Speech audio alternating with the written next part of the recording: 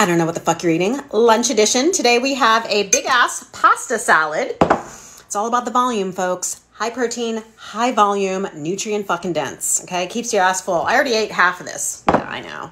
I was like, I should just make a video because it's so fucking good. So anyway, we have uh, four ounces of cooked Barilla protein pasta, three ounces of cooked rotisserie chicken. We have a plethora of tricolored um, peppers. Um, uh, chopped up some mini cucumbers. I put in some pickled red onion, mm, some shredded lettuce uh, what else? Some light um, Olive Garden dressing. And I also topped it with some of the Trader Joe's has these crunchy like jalapeno freaking things. What are they? I don't know.